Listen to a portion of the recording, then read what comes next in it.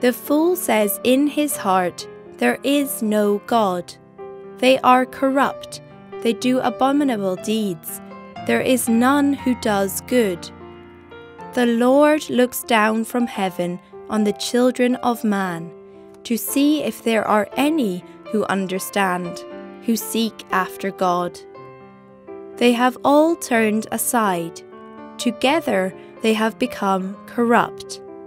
There is none who does good, not even one. Have they no knowledge, all the evildoers who eat up my people as they eat bread, and do not call upon the Lord? There they are in great terror, for God is with the generation of the righteous. You would shame the plans of the poor, but the Lord is his refuge. Oh, that salvation for Israel would come out of Zion. When the Lord restores the fortunes of his people, let Jacob rejoice, let Israel be glad. Amen.